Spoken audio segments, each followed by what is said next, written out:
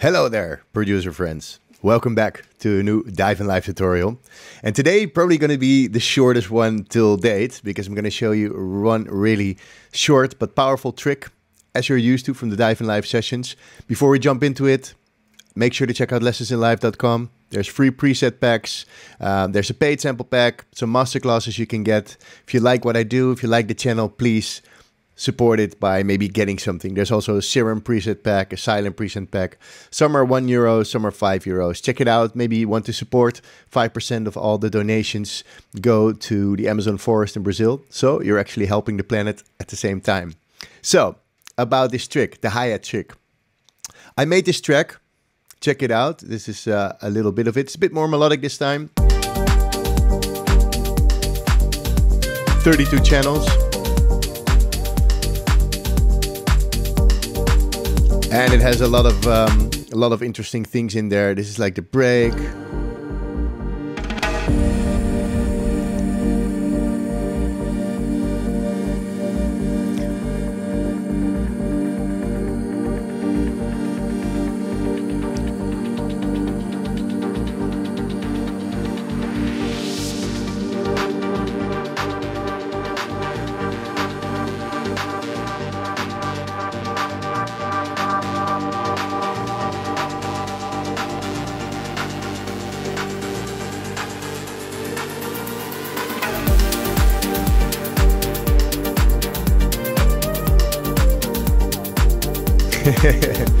so this is the track and um, one particular thing if you haven't seen the transitions with effects video yet that's also like in the dive in Live tutorials uh, list. I think we're at number 55 now.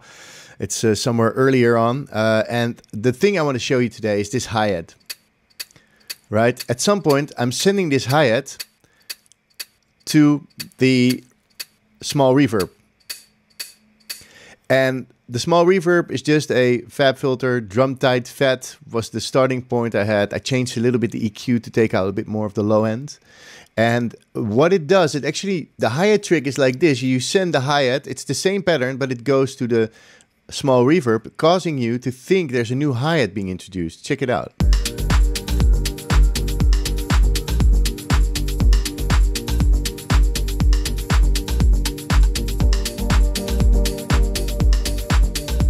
So if I take it down,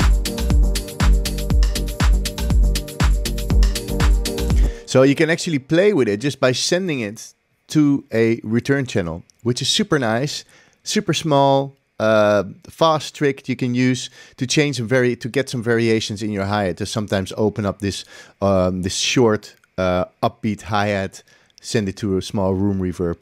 And the room reverb like if it's a small room reverb I usually have like about 500 milliseconds of um, reverb. Maybe here's like 469.9 milliseconds, which is uh, just a bit shorter. But um, I also have my stereo width small, so my usually my drums are not really wide in their reverbs.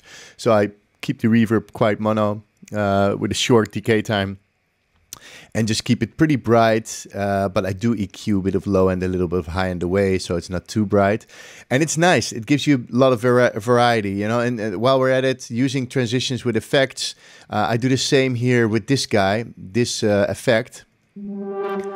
I send it to this delay, delay G. But if we go a bit back and we go to the green one, you'll see that it goes to a different delay it goes to delay number 1.8 and this one goes to delay F which is then being triggered with the feedback and goes on quite a long time. And this way this way you can create uh, a lot of variation using just some sends and send some sounds to some returns. If you don't know what send and returns are please follow my beginners or intermediate course.